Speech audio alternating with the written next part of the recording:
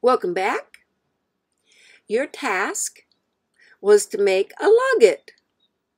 And this is a decorator.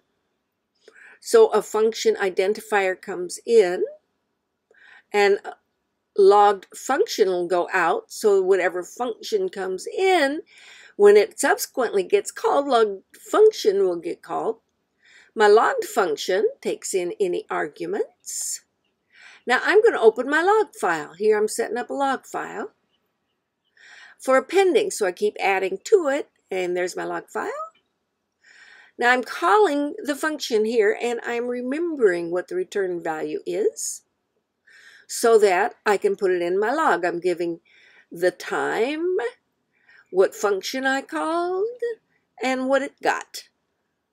So I have added to the log. I'm returning got because we want our logged function to return what the call to the original function got.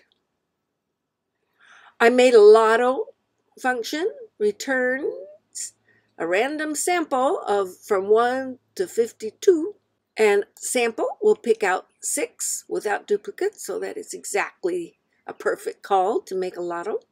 That's all it does. Now then, I'm going to print lotto of lotto. So lotto returns a list of six numbers. That's the pick. It comes in here. It joins them up. Makes a string out of each and then just joins them up with comma separated. So that's our print lotto. I did it two times here. Those are the lottos. And I see that I have done it before. That's the log. Okay, now you know what a decorator is. That's one of the favorite buzzwords. I'll see you in the next lab.